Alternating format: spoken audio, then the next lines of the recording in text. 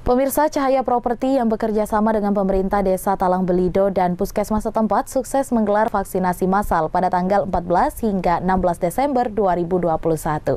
Kegiatan yang dibarengi dengan door prize bagi para peserta vaksinasi ini juga mendapat apresiasi dari Camat Sungai Gelam dan diharapkan dapat menjadi percontohan bagi para pengusaha lainnya untuk terus mensukseskan program vaksinasi dari pemerintah.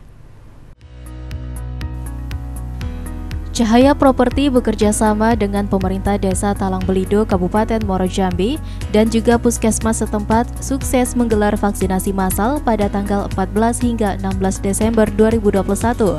Kegiatan tersebut dilaksanakan di Cahaya Residence.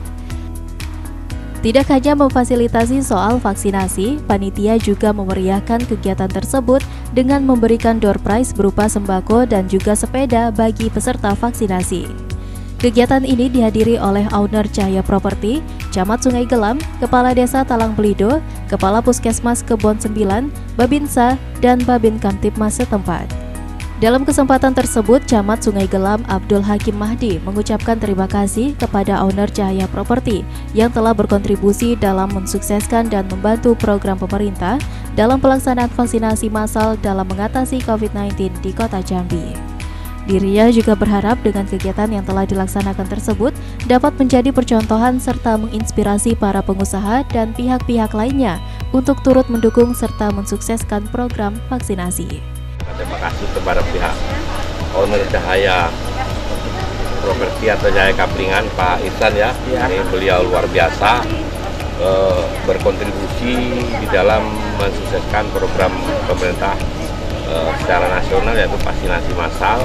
Dengan adanya acara seperti ini mudah-mudahan bisa menginspirasi kepada uh, pengembang, pengusaha tidak terkecuali bukan hanya di Sungai Gelam saja tetapi bahkan di seluruh Indonesia. Karena ini contoh yang baik karena kebersamaan uh, mensukseskan program pemerintah itu bukan hanya pemerintah saja aparatur kami terbatas dana terbatas sekarang kita sama-sama tahu ini sudah menjadi musibah nasional Nah, ternyata ada dari pihak pengembang yang tidak kita hitung-hitung, tidak kita sangka-sangka, kata orang Jambi tidak kita sangka-sangka, tapi dia peduli. Ini yang sangat kita hargai. Lilis Karlina, Shik TV melaporkan.